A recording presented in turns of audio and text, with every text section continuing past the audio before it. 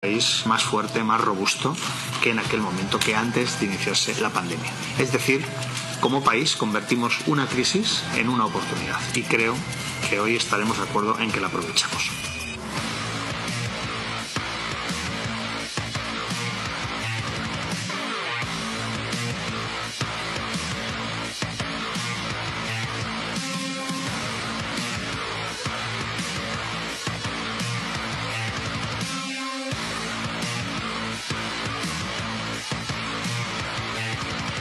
La pandemia en una oportunidad y creo que hoy estaremos de acuerdo en que la aprovechamos.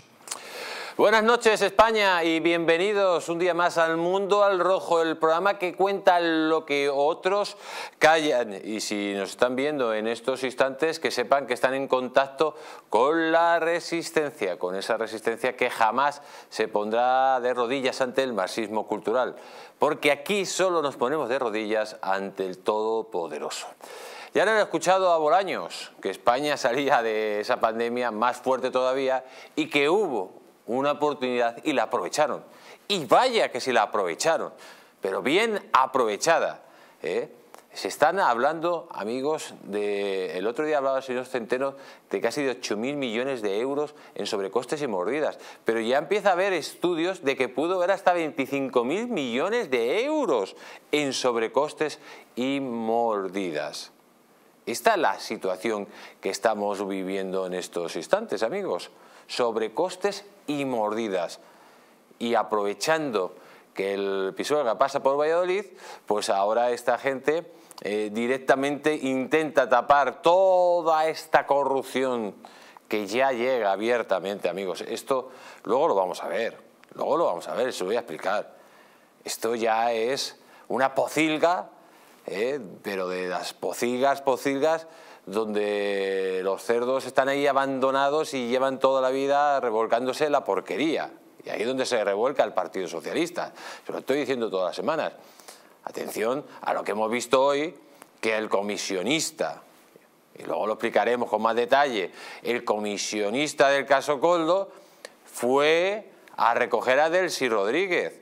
Pero claro, vemos que Zapatero le consiguió una entrevista precisamente al CEO de Globalia.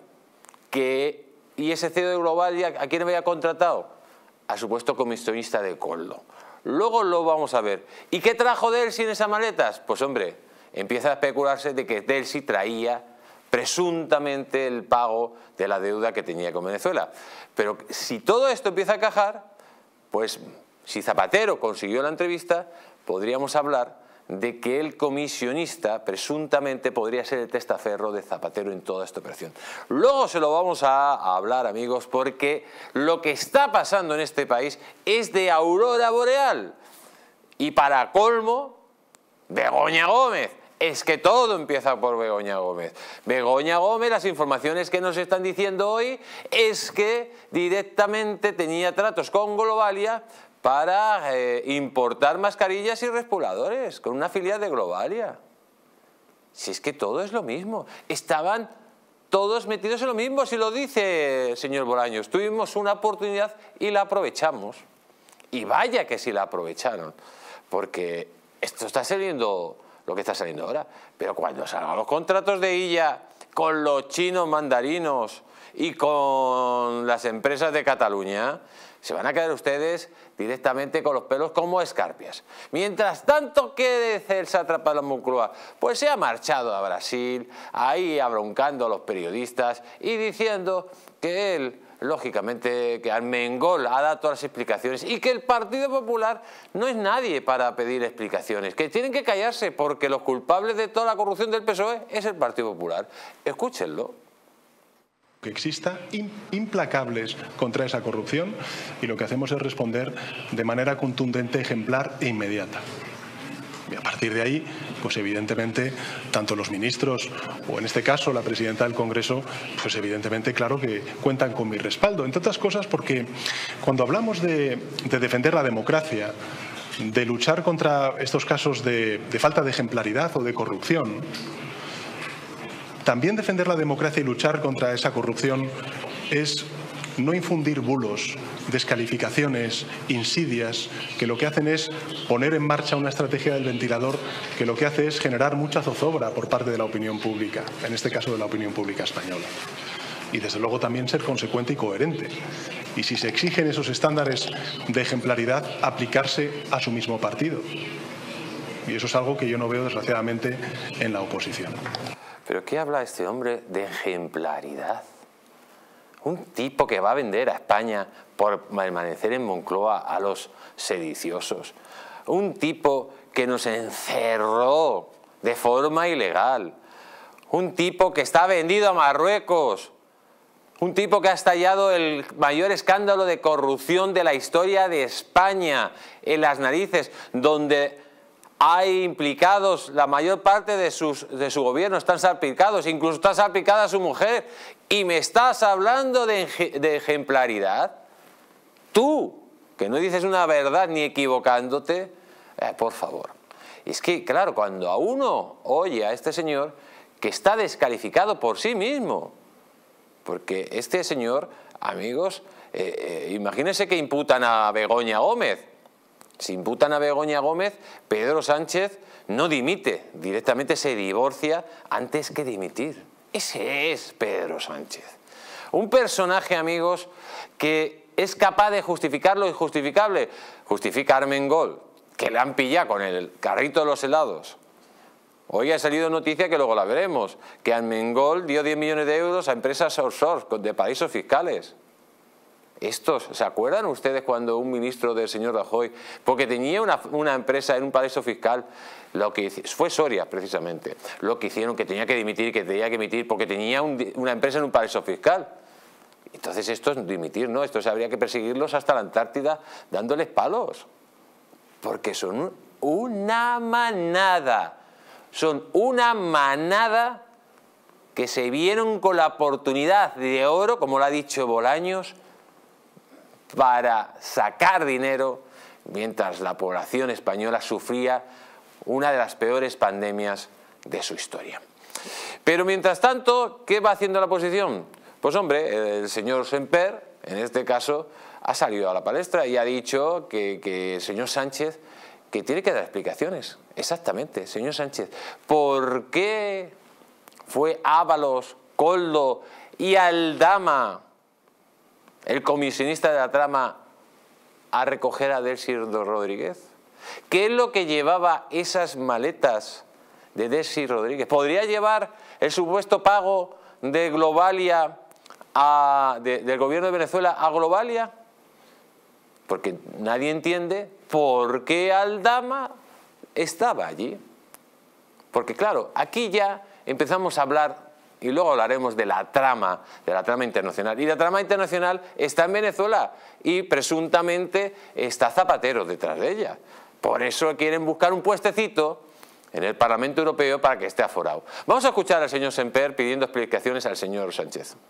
Esta semana sabemos, por información publicada en prensa y que interpela directamente al presidente del Gobierno, sabemos que en el aeropuerto de Barajas se recibió a la vicepresidenta de Nicolás Maduro, fue recibida por un ministro del Gobierno de España y posiblemente por algún comisionista, también beneficiándose de la trama surgida en torno al Ministerio de Transportes y que a día de hoy ya afecta a varias comunidades autónomas, a varios ministerios. La pregunta que nosotros le hacemos al señor Sánchez, como presidente del Gobierno, como máximo responsable de este Gobierno, es, ¿conocía el señor Sánchez esta reunión en el aeropuerto de Barajas? ¿Conocía la naturaleza de la misma? Lo que allí se trató, conocía el contenido de las supuestas maletas que en ese aeropuerto fueron intercambiadas, conocía el señor Sánchez todo esto y qué impacto tiene este encuentro y la visita de la vicepresidenta de Venezuela en el rescate de empresas en boca de todos, como Plus Ultra y como otras compañías españolas. La pregunta es directa es razonable que nos la hagamos y los españoles merecen una respuesta por parte del presidente del gobierno. ¿Pero qué le pasa a este hombre? Parece que está pidiendo perdón. Cuando tenía que estar como una fiera pidiendo responsabilidades a Pedro Sánchez, el Partido Popular tenía que estar como una fiera. Y por cierto, Todavía no he visto salir al señor Abascal decir absolutamente nada de este caso. Ojo, algo que me sorprende. Pero hablando del señor Semper, oiga, usted no vaya pidiendo perdón. Es que el Partido Popular tiene que ir a por todas si queremos estar a ese señor, si no te van a tomar el pelo, como lo que está haciendo Sánchez. Claro que el señor Sánchez sabía que fue Coldo, claro que el señor Sánchez sabía que fue Aldama y que fue Ábalos a, a recoger a Delsi, pero si los mandó él, si los mandó él, ¿O te crees que cuando llega la vicepresidenta del gobierno de Venezuela de una narcodictadura cuyo paso tiene prohibido a España, no llaman a Moncloa y no se entera señor Sánchez? Es que, es que, bueno, esa pregunta ya es hora, porque ya lo sabes. Vais más allá. Pero ¿qué vamos a hacer, amigos? Mientras tanto, mientras tanto, Sánchez ha dicho que ya hay amnistía, se va a poner, se va a bajar los pantalones, se va a poner mirando a Cuenca y va a dejar que los independentistas directamente hagan de él lo que dé la gana. ¿Que quieren la amnistía de terrorismo? Terrorismo. ¿Que quieren amnistía por casos de corrupción? Casos de corrupción. Da lo mismo, da lo mismo. Este hombre tiene una salida hacia adelante, va a aprobar la amnistía sí o sí, una amnistía que por cierto nace ya muerta porque ya ha dicho Europa y han dicho los jueces que va a haber esa cuestión de prejudicial que la van a tumbar. Escuchen la siguiente noticia. PSOE, Junts y Esquerra han anunciado un acuerdo sobre el contenido de la ley de amnistía después de días de trabajo conjunto, aunque sin desvelar hasta este jueves el contenido de la misma. Este miércoles, el Ejecutivo ha afirmado que están en la recta final de la amnistía y han rechazado aclarar si se tocará el terrorismo en la ley. Ya lo verán en la enmienda. Si les quedan pocos minutos y pocas horas para poder conocer eh, la transaccional. Lo importante es que va a haber ley y que efectivamente va a ser plenamente constitucional y acorde con el derecho europeo. Estamos en la recta final. Estamos trabajando con mucho rigor para que la ley de amnistía sirva para el propósito que es la reconciliación. Esquerra Republicana se ha mostrado abierta a introducir cambios en la ley de amnistía, aunque asume que no será perfecta. Si el PSOE se ha abierto a poder eh, mejorar, ampliar, pues ahí estamos. No existe, no existe la ley perfecta. La previsión es que la Comisión de Justicia apruebe este jueves un nuevo dictamen que podrá ser el mismo que cayó en el Pleno u otro con las modificaciones que introduzcan vía enmienda. Aprobado el dictamen, el siguiente paso será elevarlo al Pleno del Congreso, que podría votarlo el jueves 14 de marzo o a la semana siguiente. Pues ya lo tienen, amigos, dice Bolaños, es una ley para reconciliación. No, no, es una ley para que el sátrapa y tú permanecéis en Moncloa. Esto no reconcilia a nadie. Ya ha dicho el señor Puigdemont que van a mantener el conflicto constante con, eh, con el Estado. En definitiva, amigos, el golpe de Estado ya está. Hay que ir todos a manifestándose. Hay que seguir luchando porque nos jugamos España, nos jugamos la democracia ante un gobierno criminal, ante un gobierno que nos ha secuestrado el Estado de Derecho y ante un gobierno, amigos, que está arruinando a todos los españoles. Y como siempre les digo, me acompañan en este programa para luchar contra el eje del mal, pues con nosotros van a estar los mejores, con nosotros va a estar Esperanza Aguirre. Junto a Esperanza Aguirre también estará en el programa de hoy el señor José Antonio Vera, al que se le une don Roberto Centeno. También estará el hombre de moda, don Fernando Sancho. Fran Simón, Alicia Rubio y también estará nuestro querido Juan Diego Requena. En un programa que no se pueden perder, amigos, recordarles que nos pueden ver en la TDT de Madrid, de Guadalajara, de Galicia, de Aragón, de Valencia, de Murcia, de Sevilla, de Islas Canarias. También nos pueden seguir a través de las aplicaciones en teléfonos móviles, en tablets, en televisores inteligentes también se la pueden bajar. Si no tiene uno, cómprese un Fight TV Stick compatible con Amazon, Google o Xiaomi. Nos pueden seguir también a través de Roku en Estados Unidos y ya saben que ya estamos en toda Hispanoamérica, en las cableras, a través de TV Libertad. En redes sociales nos pueden seguir eh, a través de Facebook, Twitter y YouTube. Aquí un fuerte abrazo para Mari Carmen y todos sus guerreros. Y como siempre pueden mandar sus mensajes eh, de WhatsApp al teléfono que sale en pantalla al 669-728673. Y vamos a empezar, amigos. Vamos a empezar porque el Gay tiene muchísimas ramificaciones. ¿Qué hacía el comisionista de Coldo en Barajas para cobrar la deuda de Maduro? Esa es la pregunta que nos hacemos todos. ¿Quién es Víctor Aldama? Un tipo que hasta el año 2019 no tenía una actividad reconocida y que de golpe y porrazo contrata Globalia, o sea, sé, Air Europa, para que este tipo sea el intermediario para cobrar una deuda de 200 millones de euros? ¿Ustedes creen que una compañía como Air Europa le va a dar 5, va a firmar un contrato de 5 millones de euros con el señor Aldama, que es un pintamonas, para que negocie con Maduro directamente una deuda que tienen de 200 millones de euros? Esto no tiene ni pie ni cabeza, amigos. El señor Aldama, ¿saben ustedes a qué, lo que huele el señor Aldama? Al testaferro, al presunto testaferro del señor Zapatero.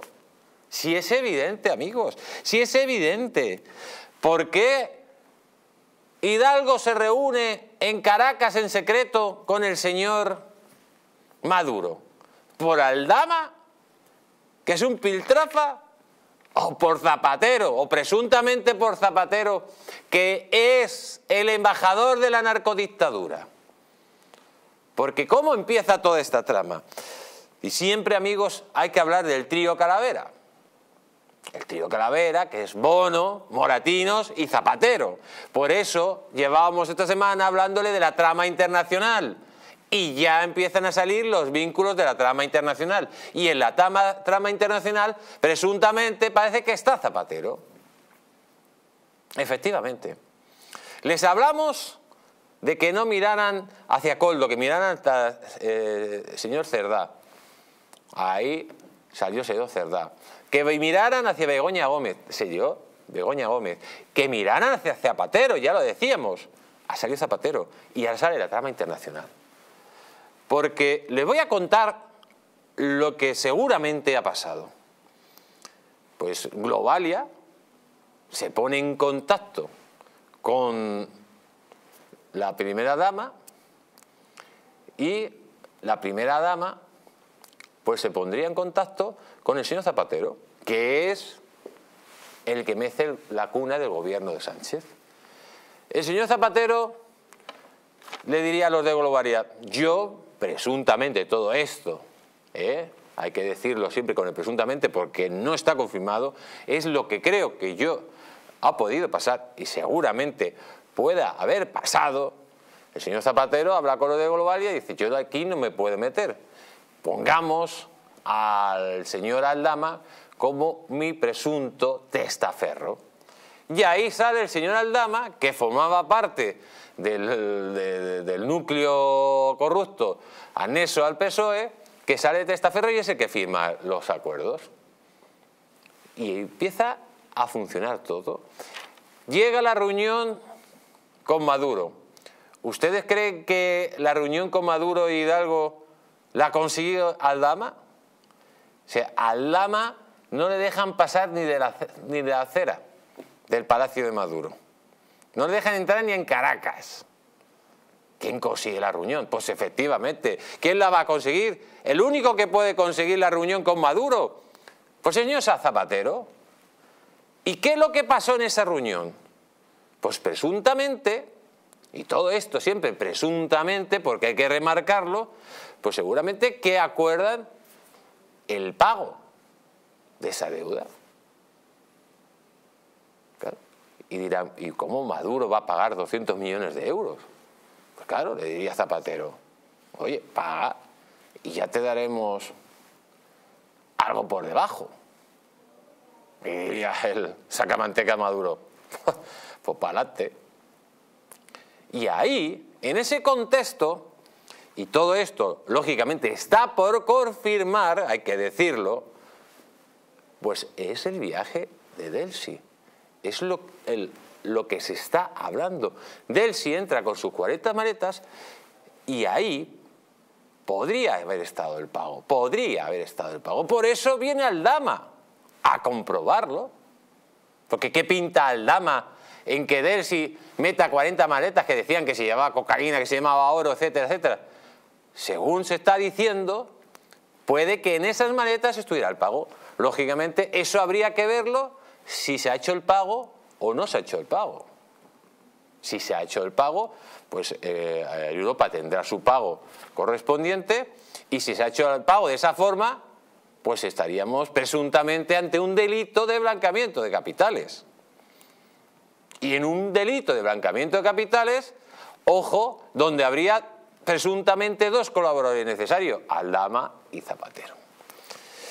¿Y por qué Sánchez ahora quiere meter a Zapatero en Europa? Pues evidentemente, amigos, ustedes son muy listos, porque a mejor esta trama les salpica y necesita cobertura legal, que esté aforado, básicamente. Y ojo, espérense ustedes que en las listas europeas no meta también a Begoña Gómez como aforada, diciendo que es una persona súper bien preparada.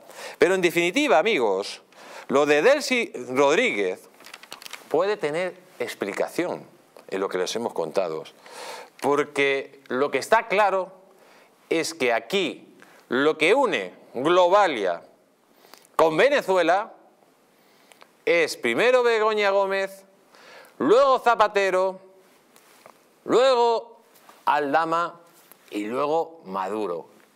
Y como respuesta final, Delsi la fea. Porque ustedes saben perfectamente que Maduro no va a pagar ni un duro si no hay comisiones por medio. Y recuerden amigos que no les engañen, porque la verdadera libertad no es la que dice Pedro Sánchez, la de destruir el Estado de Derecho, no, no. La de engañar a la gente, no, no, no, Sánchez, esa no es la verdadera libertad. La de tapar la corrupción, no, Sánchez, esa no es la verdadera libertad. Amigos, recuerden que la verdadera libertad siempre consiste en estar bien informados.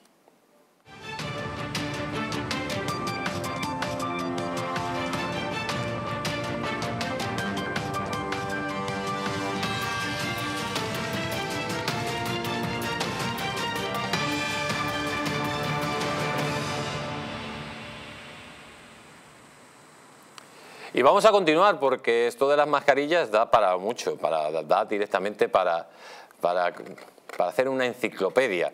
Mire lo que dice la noticia, dice las decisiones de Armengol tras ver las mascarillas falsas. Avaló la trama ante otros gobiernos y contrató a Globalia. Nada más y nada menos. Tenemos al otro lado de Sky a nuestra querida Esperanza Aguirre. Buenas noches, doña Esperanza, ¿cómo está usted? tal? Muy buenas noches. Pues en fin, un poco... Un poco sobrepasada, ¿no? Por todo esto, pero bueno, vamos a empezar por, por Armengol, por lo menos para ir orientándolo, ¿no? de gobierno que tenemos en España. La verdad que parecía que era suficiente con la ley de amnistía que nos habían propuesto hace unos días, hace 15 días, ¿no?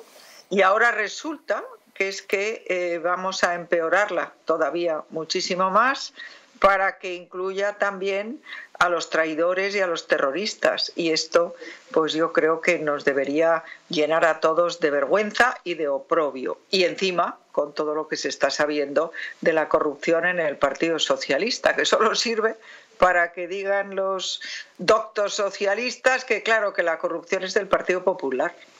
Es, de vergüenza, de verdad.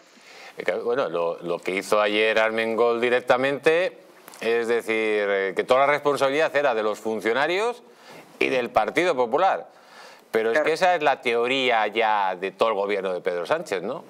Armengol dijo, dio dos razones por las cuales conservaba las mascarillas, pero no las daba. La primera, totalmente incongruente. Decía, bueno, es que es por si acaso las necesitamos, porque estamos en momento de pandemia.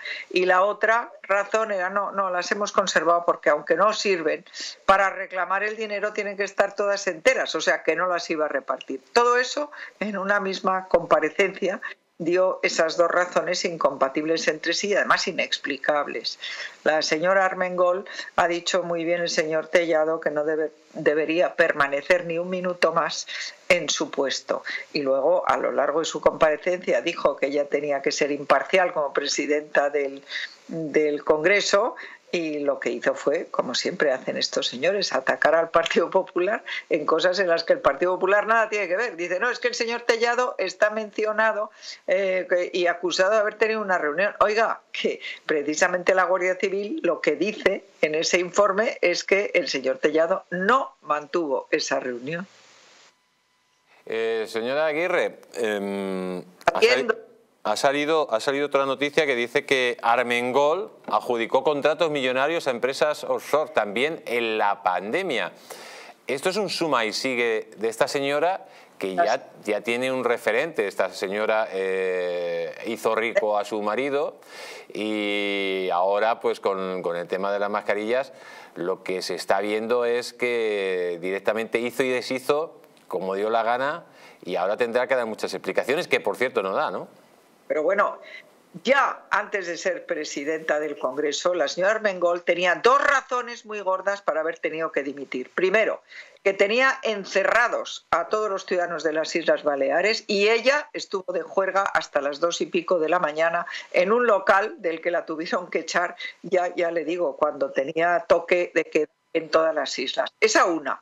Pero la otra, y todavía mucho más grave, es que todas las menores o algunas o varias de las menores que estaban bajo la custodia del gobierno de las Islas Baleares resulta tan y eso lo quería el gobierno y no hizo nada. Estas dos razones ya, ya a dimitir y ya la de las mascarillas ya, ¿qué le voy a contar? Pues doña Esperanza Aguirre, como siempre, un placer tenerle, tenerla aquí en el Mundo Rojo. Reciba un gran abrazo placer es mío. Muchísimas gracias por tenerme. Nada, un placer. Gracias a usted. Y vamos a continuar, amigos, vamos a continuar porque con nosotros está don Fran Simón. Buenas noches, don Fran, ¿cómo está usted? Muy bien, un placer estar aquí, Jesús Ángel, con todos vosotros. Eh, voy a dejar un minuto para que me diga su opinión sobre la comparecencia de Francina Mergol y todos los datos que están saliendo de ella. En un minuto así es capaz de resumirlo. Bueno, pues una vez más, un representante del Partido Socialista eh, usa los medios de comunicación para intentar justificar algo que es injustificable y, y una vergüenza ético-moral lo que estamos viviendo en estos días, que yo creo que al final de todo esto se resume en que el Partido Socialista es un partido corrupto y que deben dimitir y volver a hacer unas elecciones a nivel nacional. Pues vamos a seguir, amigos, porque mire la noticia. Dice, el director de salud de Baleares desmiende a Armengol y dice que nunca se informó sobre la reclamación de las mascarillas. Ahí la tenemos la, noticia. Dice también que la Oficina Anticorrupción denuncia que Globalia duplicó el precio de los vuelos que cobró Armengol. Ahí tenemos otra. Eh, de nuevo, Globalia, ahora conectada con Armengol, los vuelos, que los duplicó, etcétera, etcétera, etcétera. Esto de, Globalia, que era una empresa, una empresa súper seria con, el señor, con el padre, con el padre, pero eh, desde que la ha cogido el hijo, está metido en todos estos eh, movimientos oscuros de las mascarillas, por no decirlo de otra forma. A ver, no sé cómo, no sé cómo decir esto finamente, pero Globalia, eh, junto con Europa, es eh, una empresa muy mal gestionada, donde el padre hubo un momento que se, fue de ella, eh, que ya tuvo problemas desde el inicio porque no tenía la licencia para empezar a, operar desde España o desde Europa. Eh, luego la cogió el hijo, yo soy amigo personal de algunos miembros de esa familia, el hijo fue un desastre absoluto, como como muchos hijos de papá que se vienen a más con el trabajo de, esto, de los padres, pero al final del cuento aquí hay una cosa, mm, ¿quién ha funcionado muy bien, excepto Iberia, que, y, bueno, Iberia tenía muchos problemas, pero no ha dejado de hacer vuelos a Venezuela, excepto a Europa. Y ahora me dices qué es Venezuela. Y Venezuela es un narcoestado, no digo más. Bueno, Venezuela es un narcoestado cuyo embajador es el señor Zapatero.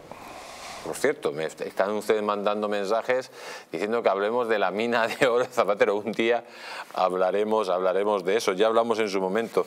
Pero mientras tanto, ¿cómo están las cosas en el Partido Socialista? Están las cosas muy mal. Atención que Paje está viendo que se queda sin partido, que Sánchez le importa todo un pimiento con tal, está en Moncloa, pero después de Sánchez, si cae Sánchez, el Partido Socialista seguramente que estará a punto de desaparecer si no desaparece. Escuchen a Paje. Es que no existen protocolos para gestionar un, caso como este. Yo tengo el convencimiento, de verdad, lo digo en serio, desde el presidente del gobierno a, a, los cargos que conozco, yo creo que no están en esto para lucrarse. Puede ser que hoy por hoy todavía no sabemos exactamente dónde acaba este hilo de esta madeja y lo primero es saber qué ha pasado. Primero saber qué ha pasado y por supuesto... Eh, cortar por lo sano y cuanto antes mejor, desde luego. Lo que pasa que lo que más me preocupa ahora mismo es que no parece que las soluciones puedan ser rápidas porque hay demasiada información y creo que va a ir más. De manera que lo que me preocupa es que esto va, va a presidir la política española durante bastante tiempo y me, duele mucho porque yo a todos los cargos que conozco, eh, las autonomías, lo veo proceder sinceramente con intención correcta. Otra cosa distinta, pues, a nuestro, al entorno de los políticos a veces crecen alimanias y, nos, hacen nos hacen mucho daño.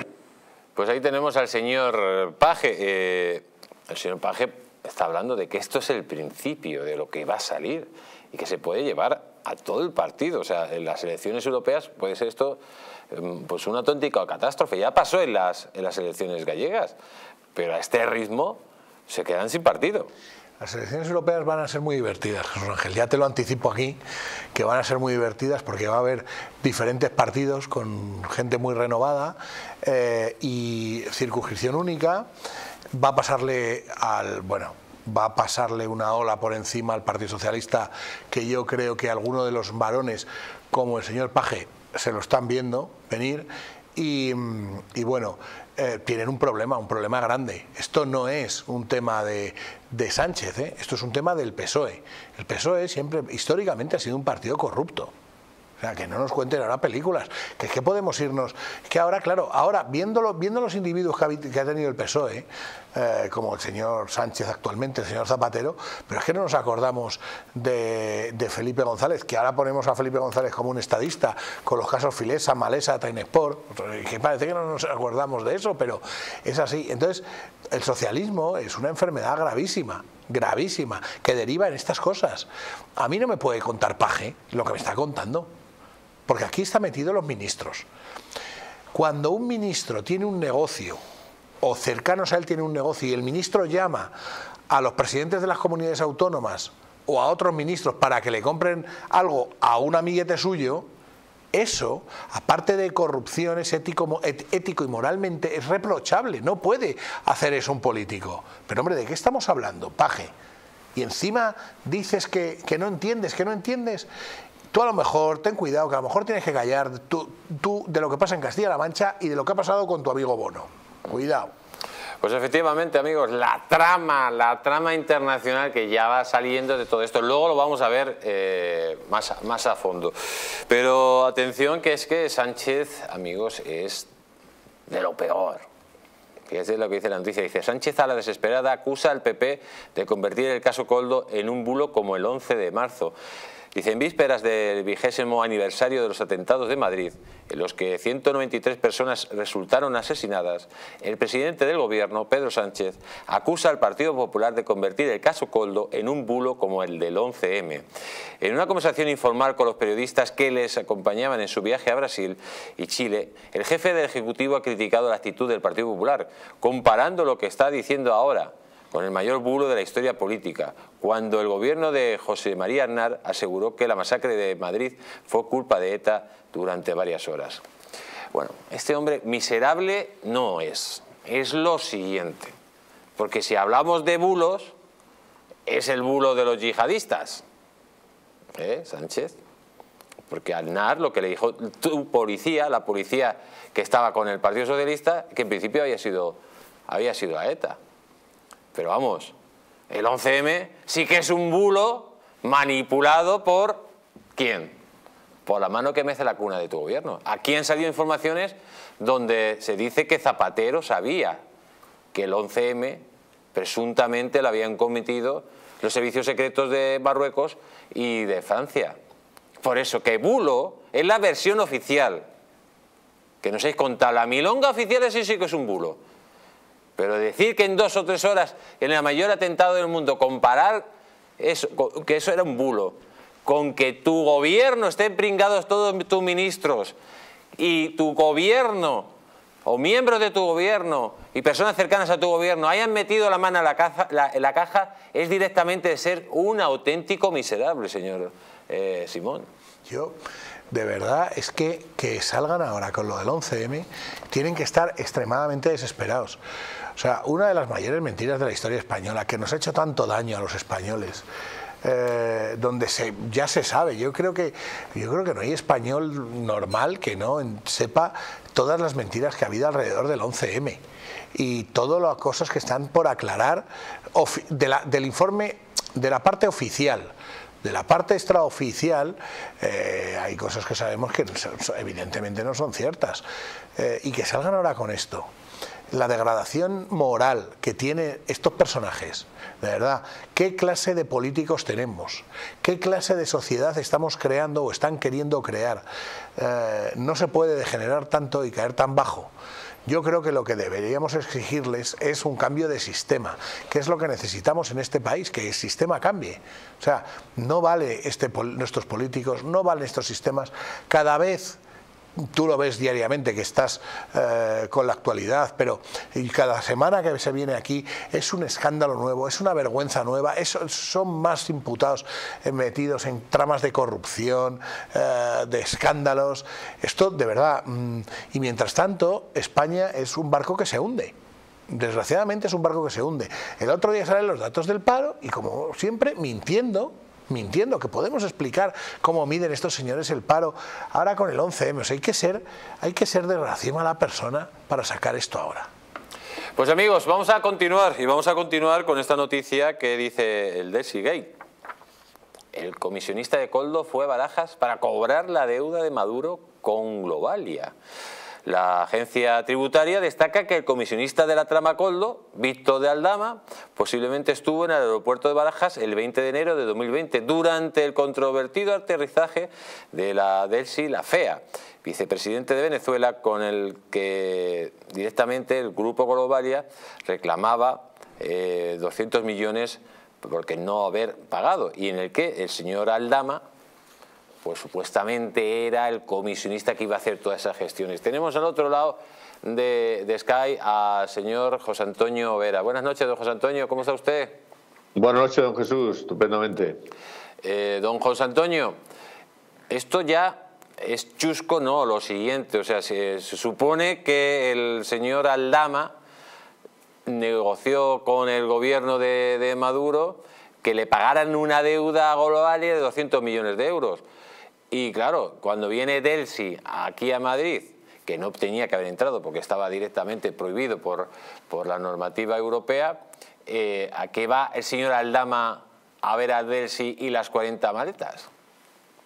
Sí, no, bueno, es que el caso de, de Delsi, la fea, como la llaman, ¿no? Pues es, eh, efectivamente es un saco sin fondo, ¿no? Fue mm, algo absolutamente estrambótico desde el primer momento, porque acuérdese, mm, don Jesús, que ahí es donde conocimos la figura de Coldo, ¿no? Yo por lo menos jamás en la vida la había visto antes, y ahí fue donde mm, vimos que que Ábalos fue en un coche que no era el oficial, sino que era en un coche privado, que había que preguntarse, bueno, ¿y por qué va en un coche privado? Eh, y ahí va con Coldo, y, un señor que, en fin, aparentaba mucho, que ocupaba mucho espacio y que eh, ahí es donde empezó a, darse a conocer, ¿no? Eh, claro, va en un coche privado cuando y él dice, no, es que voy a ver a mi amigo un ministro no sé qué. Entonces no dijo que iba a ver a Delsi. Si usted se acuerda, porque hay que hacer un poco de memoria sobre este tema, él dijo que iba a ver a su amigo, el ministro de no sé cuántos, que viajaba con Delsi en ese avión. Eh, en realidad en realidad iba a otra cosa, como bien sabemos, ¿no? porque mm, se ve que nadie quiso ir a, hacer la gestión que fuere, que todavía no sabemos cuál es, pero que esperamos saberlo en algún momento. Y, bueno, al final él tuvo que reconocer, primero reconoció y dijo que bueno, que sí, que había saludado a Delsi, pero que solo lo había saludado. Luego cuando la prensa, porque aquí la prensa hizo un, como está haciendo actualmente en, todo lo que es el, caso Coldo y, demás casos derivados, ¿no? Eh, cuando mm, se le pone negro sobre blanco de que efectivamente no era solamente un saludo, sino que había estado más tiempo, pues al final tiene que reconocer que estuvo 20 minutos, que entró en el avión, que estuvo con Delsi, que Delsi salió, que Delsi se estuvo paseando por la, zona, por la sala VIP, eh, digamos, eh, ellos decían que internacional, etcétera, etcétera, y luego el, el tema terrible que algún día esperemos también saber de las famosas 40 maletas, si es que eran 40, ¿no? Vamos, yo no estaba allí, no las conté, pero como eso es lo que ha trascendido, pues 40 maletas. Alguien, no sé si usted recuerda también que, por ejemplo, la dirigente política canaria Nora Mas, que es una mujer pues muy popular y muy conocida, mm, dijo que, mm, y eso está, y eso está grabado, y eso, pues, eh, en fin, suscitó algunas reacciones, etcétera, que en ese avión, no en las maletas, pero que en ese avión iba el dinero famoso del oro venezolano que lo llevaban a, que lo llevaban a Turquía, pues o bien para cambiarlo o bien para hacer lo que fuere, ¿no? el trapicheo que fuere. Lo cierto, verdad, es que el tema de las 40 maletas, si es que fueron 40, es algo extraño, extraño, extraño de verdad. Y algún día, pues deberíamos saber, y supongo que hay gente que lo sabe, qué es lo que llevan las maletas, cómo es posible que unas maletas que iban en un avión eh, que no podía entrar en España, sin embargo sí que entraran las maletas, y acuérdese también cuál fue el motivo que se pudo eh, aducir para que desaparecieran absolutamente todas las cintas de vídeo en las que se había grabado el momento en el que, en el que Coldo, Ábalos y ahora aparece este personaje, el tal Aldama, estuvo también pues con la señora Delsi, Delsi la Fea, Delsi la vicepresidenta del gobierno eh, de Maduro, eh, en, aquel día que, bueno, que llenó tantas páginas de periódicos, pero que desgraciadamente se fue olvidando, porque aquí en España pasan muchas cosas y luego se van olvidando. Eh, señor Vera, ya una última pregunta para terminar. ¿Usted cree que el señor Coldo, el señor Aldama y el señor Ábalos, cuando sea imputado, van a cantar sobre toda esta trama, porque esto lo que parece que hay una trama práctica internacional que tiene una ramificación en Venezuela y en Venezuela ya sabemos quién está. Está Maduro y está su embajador, el señor ZP. Sí, bueno, eh, usted ha dicho tres nombres, eh, yo añadiría porque hay uno más, ¿no? Ahora, que es el nombre de Álvaro Alvarito, este que que ha cesado hoy, que es una persona eh, con una larga trayectoria en el Partido Socialista, muy amigo de, con muy buena relación pues con, con, con, todos los más importantes dirigentes que ha habido en el Partido Socialista y que ha ocupado puestos de responsabilidad en el Partido Socialista y que hoy ha sido eh, cesado por, por el actual ministro eh, por el actual ministro de Transportes. ¿no? no son uno, son varios y evidentemente eh, aquí el problema que pueden tener cualquiera de ellos es que alguno tire de la manta y evidentemente, en principio todos yo creo que tienen interés en que nadie tire de la manta porque todos salen perjudicados, pero eh, cuando las cosas se complican, pues bueno, ya vio usted que el otro día el señor Ábalos eh, dijo que iba a proceder contra Cerdán porque había hecho público su, su DNI ¿no? y datos personales suyos. Yo creo que Ábalos está mandando mensajes, está diciendo mucho cuidado, yo no voy a permitir que hagáis nada de mí porque evidentemente Ábalos sabe muchas cosas. De esto de Delsi, de Marruecos, de cursos, de los cursos de Marruecos y de Venezuela, por supuesto, y de otras eh, muchas cosas en las que eh, me parece a mí que no solamente está implicado él y el señor Coldo, sino que hay una ramificación muy, muy grande que afecta pues, a muchos dirigentes del Partido Socialista y que eh, probablemente el interés que todos tengan es que no se tire el amante y que no se tire la manta. Por cierto, que ahora lo que dicen es que lo que va a intentar el señor Sánchez y el gobierno es desacreditar la investigación y eh, utilizando algún tipo de procedimiento que haya sido eh, indebidamente realizado, eh, conseguir que ese eh, procedimiento no en este momento, pero sí más a la larga, cuando pueda haber caído, digamos, el momento de tensión que ahora estamos viviendo, desacreditarlo y en un momento determinado invalidarlo. Y que eso se puede hacer estando él en la Moncloa y estando en el gobierno, porque efectivamente ya sabe usted aquello de, que, de quién depende la Fiscalía. Pues, eh, pues eso. Entonces él considera que estando en el gobierno y estando en la presidencia del gobierno puede hacer cosas que si está en la oposición y fuera de la Moncloa no podría hacer. Pues esperemos, esperemos que no, señor Vera. Un placer, como siempre, tenerle aquí en el Mundo al Rojo. Reciba un gran abrazo. Un abrazo muy grande y buenas noches. Porque, amigo, ya lo que, lo que faltaba. O sea, bueno, pues para eso quiere controlar el Consejo General del Poder Judicial y para eso va a intentar aguantar como una garrapata de esas garrapatas que ustedes tiran y, y no se la sacan al perro. Pues como esa va a aguantar Sánchez. Pero atención a esta noticia que es muy importante. Dice, Zapatero logró que Maduro recibiera a Hidalgo para negociar la deuda de Globalia antes de intervenir el comisionista de Coldo. Dice, el comisionista de la trama Coldo, Víctor de Aldama, fue contratado por Globalia en septiembre del 2019 para cobrar la deuda de Venezuela con Air Europa en de 200 millones de dólares. El informe de la agencia tributaria sobre la trama, que recopila las investigaciones de Hacienda por la incidencia fiscal de lo que se denomina el negocio de las mascarillas, analiza con detenimiento este cometido de Aldama previo a la pandemia y advierte que este recogió el testigo de José Luis Rodríguez Zapatero el expresidente Zapatero parecía haber fracasado en un cometido semejante. El grupo acudió al expresidente del gobierno de España para que mediara a favor de la compañía para cobrar del país, constata la agencia tributaria. Y recoge que Zapatero logró que Nicolás Maduro recibiera en el 2018 al presidente de Globalia. En este encuentro, el expresidente español habría logrado que Maduro se comprometiera a liquidar la deuda a cambio de una alianza estratégica con Air Europa, pero la proclamación de Juan Guaidó en el 24 de enero del 2019 paralizó los planes a punta a la inspección. La retribución pactada prevista en el contrato en el caso de éxito de Aldama era de 5 millones de euros. Llamamos la atención de la fecha y de las del señor Aldama con Venezuela, subraya la agencia tributaria, que justo antes de mencionar la citada retribución subraya que Aldama era el sucesor de Zapatero. Bueno, esto amigos, lógicamente hay que decir siempre presuntamente, pero es que lo que huele es que Aldama era el testaferro de Zapatero. Y Begoña Gómez ¿Por qué se reúne con Globalia, con Aldama? Porque Begoña Gómez es supuestamente le pone en contacto a Zapatero con Globalia. Y es Zapatero el único, el único, el único, el único que puede solucionar el pago de Globalia. Aldama no, si Aldama es el último mono de la lista. O sea, es que Aldama no tiene ninguna posibilidad, señor eh, Simón, Aldama no es nadie. Es una persona que en el 2019 no tiene actividad reconocida y coge Globalia y dice, oiga, le voy a hacer un contrato de 5 millones de euros para que usted me recaude 200 millones de euros que me debe Venezuela. Eso no sé lo que nadie, a no ser que Aldama fuera el presunto testaferro de Zapatero en toda la operación.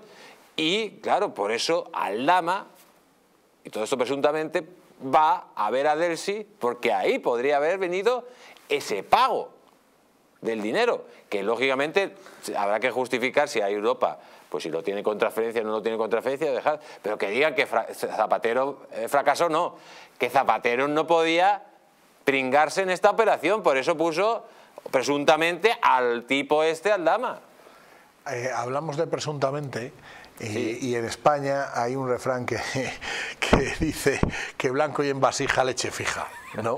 Es que, en fin, yo de verdad, es que, es que ves cada cosa, ves cada cosa y encima eh, tienes que, que, andar fino. Pero mira, aquí hay muchos personajes y muchas historias que contar, pero hay una, hay un una relación entre Venezuela, narcodictadura, Partido Socialista y Globalia. Eh, que es peligrosísima, eh, que es eh, de verdad eh, infecciosa y que por detrás mm, tiene unas ramificaciones salvajes, pero salvajes. esto Claro, todo esto, dices, ¿y cómo han llegado a todo esto? Yo te quiero, hacer, yo te quiero recordar que mm, España tiene un personaje en la cárcel que se llama el Pollo Carvajal, que sabe muchas cosas. Y que el Pollo Carvajal, que ahora ya nadie se acuerda de él, ¿verdad? El jefe del contraespionaje de Venezuela, eh, a lo mejor está hablando. Y a lo mejor a quien le está hablando, presuntamente, imagino, a, es a los guardias civiles y a las policías nacionales que están investigando todas estas cosas. Y a lo mejor saben muchas cosas más, muchísimas cosas más, tanto de Globalia como de los personajes del Partido Socialista. Y digo todo el entorno porque lo que, lo, que está claro es que tú no, tienes, tú no pasas de estar eh, en tu casa sentado a que alguien te pague 5 millones de euros por hacer de lobista. Es que, es que es de broma. Es que estas cosas de verdad son de broma. Pero vamos, ustedes si tienen algún, algún amigo en el Partido Socialista, no se preocupen, quédense en casa que mañana seguramente alguien les va a ofrecer 5 millones de euros por no hacer nada. Y aún así decimos presuntamente. Hombre, por favor, de verdad. Pero es que se creen que somos idiotas. Es que se creen que somos idiotas. Y entonces aquí, detrás de todo esto hay muchas cosas más. Ya no vamos a hablar de Zapatero. Yo te recuerdo que es que les han pillado con dinero a gente del Partido Socialista saliendo de, saliendo de Venezuela. ¿Mm? Gente fundadores del Partido Socialista. Es que hablábamos antes de bonos y amigos y fin. Y eso estaba en la Audiencia Nacional y sigue estando en la Audiencia Nacional. Esto no es de ahora, esto es de hace muchos años. Y para transportar las cosas se necesita una línea aérea y una línea aérea solvente, donde se transporten muchas cosas, no solo las maletitas de Delsi. Efectivamente, amigos, la verdad que esta situación se va viendo. La verdad que la trama internacional ya ha salido. Ya ha salido. O sea, no es el pobre Coldo, no es el pobre Adama, no es el. No iba a decir pobre Ábalos, que no hay ningún pobre. Pero claro, ¿quién faltaba? Pues el de siempre, el que desde el 11M Sánchez, desde que entró en el 11M por ese infecto atentado, que según eh, informaciones que han venido aquí y según el señor Villarejo, Zapatero conocía, conocía que iba a haber un atentado y que los servicios secretos marroquíes y franceses, no vengas ahora con el bulo de Aznar, porque es que, es que ya es, una cosa es que nos mientas todos los días y otra cosa que nos lleves, que nos insultes y nos escupas a la cara. Porque el 11M y luego vosotros, por eso estás de rodillas. Una cosa de que estás de rodillas con Marruecos es a lo mejor porque saben mucho del 11M y tienes que estar de rodillas. Pero amigos, para no estar de rodillas un día después de salir de marcha y tomarse una copa de más, pues que tenemos, tenemos estar de tos. Con esta de tos, al día siguiente de esas noches largas, largas, que usted se levanta con un terrible dolor de cabeza, pues se lo toma y se acabó la resaca. Con esta de tos, dicen ustedes stop a la resaca. ¿Y dónde pueden encontrarlo? Pues lo pueden encontrar en su tienda más cercana de Naturhaus o en www.naturhaus.es o llamando al teléfono, atención, 91833 1335. Llame de parte del distrito y ya verás cómo le hacen un buen precio. Y nos vamos a publicidad, pero este programa no ha terminado, porque ahora vamos, amigos, a hablar de Begoña, de Begoña Gómez, que ayer ya hablamos de la primera querella que le han puesto. Pero ojo, es que Begoña Gómez seguramente también se van a tener que querellar con ella porque mira la noticia, dice Begoña Gómez gestionó con Globalia importar mascarillas justos antes de su rescate. ¿Sabe la mujer del presidente lo que es el tráfico de influencias? ¿Sabe la mujer del presidente que no se puede hacer de lobby? ¿Sabe el presidente que no puede intervenir en ninguna acción donde esté su mujer, su hijo, su amigo? Por ejemplo, el rescate de Globalia o de Europa. Pues lo vamos a ver todo, amigos. Porque Begoña Gómez cada día se hunde más en sus propias tierras movidizas. No se vaya, porque si no, nadie, nadie se lo va a contar.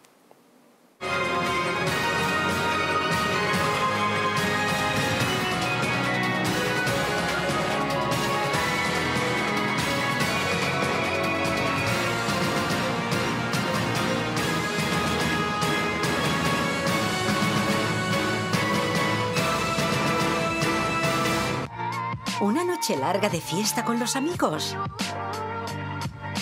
Has terminado cansado y con una copa de más. Ahora en exclusiva en Naturhaus, Staff Detox. El remedio que acaba con esas resacas eternas del día siguiente. Acércate a tu tienda más cercana o visita naturhaus.es. ¿Tiene el armario lleno de ropa y por mucho que lo intenta nunca está ordenado? ¿Le cuesta encontrar sus prendas favoritas cuando más las necesita? Tenemos la solución. Les presentamos Space Triangles, un revolucionario dispositivo especialmente diseñado para ser colgado en las perchas y liberar hasta el 70% del espacio de su armario en tan solo unos segundos. Space Triangles están fabricados con materiales muy resistentes para que se puedan colgar varios de ellos verticalmente junto con sus prendas, consiguiendo así que el ahorro de espacio sea aún mayor. Miren, su espacio puede pasar de estar hecho un desastre a tener un aspecto maravilloso en muy poco tiempo y presten atención a todo el espacio que hemos ganado. Es tan sencillo como colocar un Space Triangles en cada percha y colgar su ropa en ellos. Cualquiera puede hacerlo. Y como son muy resistentes, la cadena podrá ser tan larga como se lo permita su armario. Space Triangles es una forma sencilla de liberar espacio en el armario. En solo unos minutos cambié su aspecto por completo. Ahora puedo ir de compras otra vez. Además, pueden usarlos en cualquier percha, sin importar si son de plástico, de madera, de metal, incluso las de terciopelo. El secreto está en su ingenioso diseño deslizable que permite colocar una percha sobre otra sin que la ropa se arrugue. Deje de perder tiempo cada mañana buscando en el armario la ropa que quiere ponerse porque Space Triangles le permite guardar sus prendas conjuntadas para que todo le resulte más fácil. También son muy prácticos para colgar bolsos, cinturones o cualquier tipo de complemento. Solo hay que meterlos por el colgador de la percha y empezar a colgar en ellos la prenda que queramos. Llame ahora y obtenga su set de 8 Space Triangles por el precio que aparece en la pantalla de su televisor. Pero esperen que esto no es todo. Si se dan prisa en llamar y son de los 100 primeros clientes en hacer su pedido, conseguirán un segundo set de Space Triangles completamente gratis. Ya saben, dense mucha prisa en hacer su pedido porque esta es una oferta por tiempo limitado y exclusiva para la televisión. Así que no pierda más tiempo y llame ya. ¿Quieres proteger tu sistema inmunitario de la gripe, COVID y otras enfermedades? Inmunad Z es un complemento elaborado con zinc y base de vitaminas C1, B6 y D3 que permiten aumentar las defensas y mejorar las respuestas del sistema inmunitario. Además, posee antioxidantes que reducen el envejecimiento y mejoran el estado de ánimo. Con Inmunad Z, las defensas al poder. Acércate a tu tienda más cercana o visita la web naturhaus.es.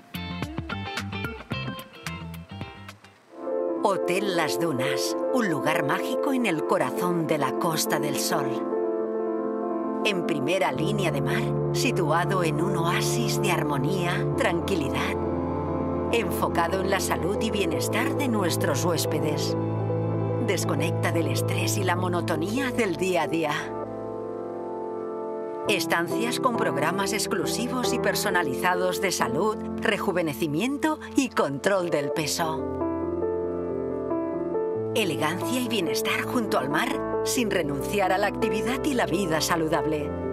Descubre las Dunas Hotel Health and Spa, el más exclusivo de toda la Costa del Sol.